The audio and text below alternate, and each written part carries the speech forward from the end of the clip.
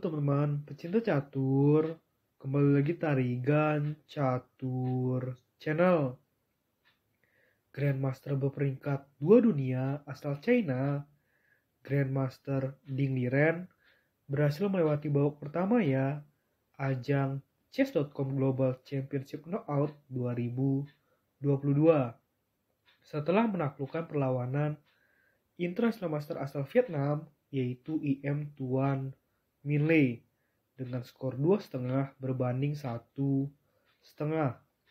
Dengan kemenangan ini, Grandmaster Ding Liren berhasil lolos menuju babak selanjutnya dan akan berhadapan dengan Rising Star asal India yaitu Grandmaster Nihal Sarin.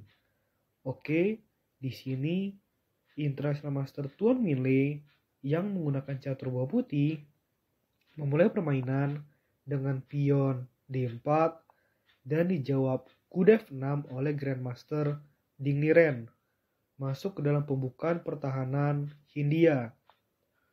Kuda F3, pion D5, dan pion C4.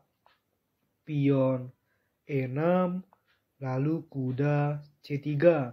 Maka berubahlah bentuk pembukaan kini menjadi masuk ke dalam pembukaan gambit menteri ditolak dengan variasi tiga kuda, gajah ancam kuda, dan menteri skak sekaligus ancam gajah hitam.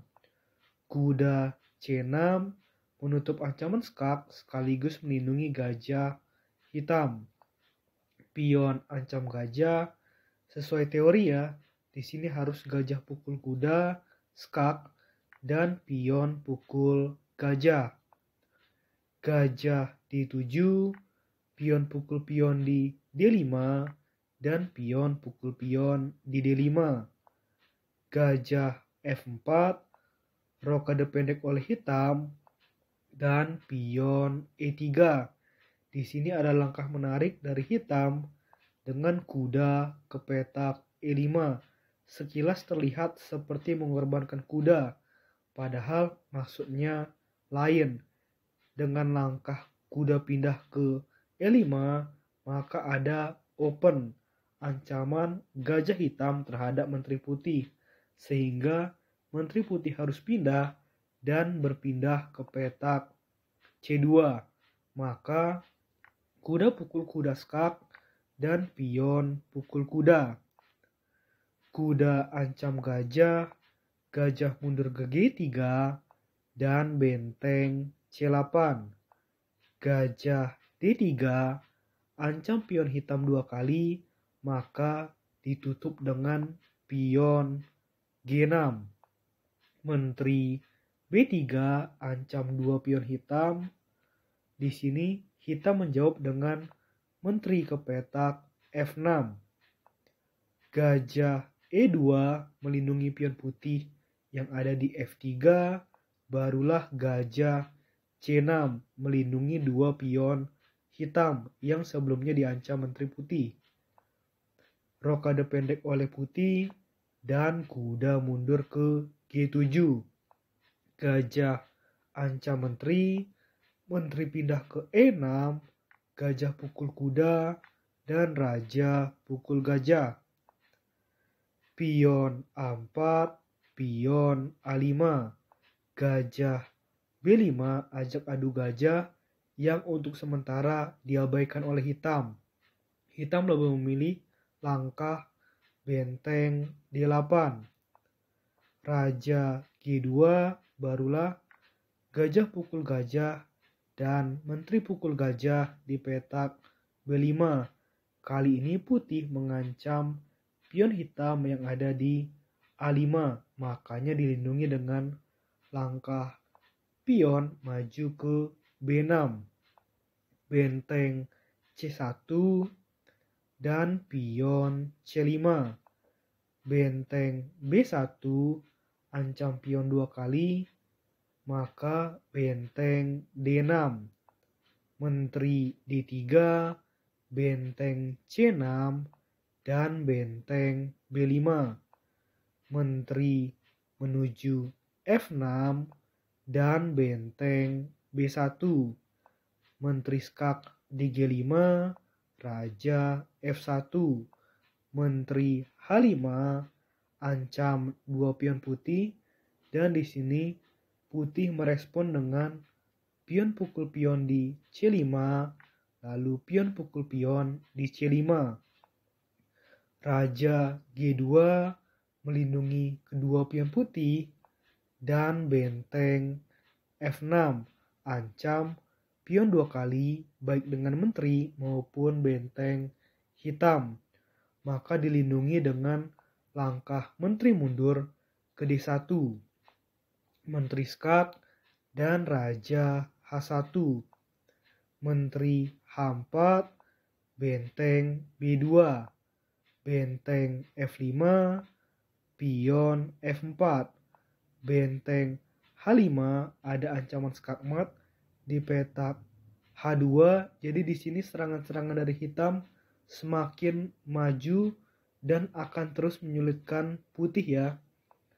Maka menteri G1 pion D4 menteri G3 ajak adu menteri yang ditolak oleh hitam hitam memindahkan menterinya ke F6. Pion pukul pion, pion pukul pion, dan pion pukul pion di D4. Menteri pukul pion, lalu menteri E3, terus mengajak pertukaran menteri. Artinya, di sini putih benar-benar takut dengan ancaman demi ancaman yang akan dilancarkan oleh menteri hitam dan juga secara posisi Grandmaster Ding Liren kini sudah unggul plus 5,8. Jadi keunggulan yang sangat besar ya di dalam permainan yang akan segera memasuki babak akhir. Menteri pukul pion dan benteng B8. Benteng pukul benteng, benteng pukul benteng, dan benteng D5. Raja G2, Menteri C6 dan benteng ancam menteri. Ini merupakan langkah blunder dari Grandmaster atau maksudnya dari International Master Tuan Mile yang membuat Grandmaster Ding Liren unggul ya secara posisi sangat telak dengan plus 8,7. Benteng ke petak G5 jadi ada dua kali skak ya sehingga tidak bisa benteng pukul menteri maka Raja Putih pindah ke F1. Menteri Skak di C4 dan Raja E1.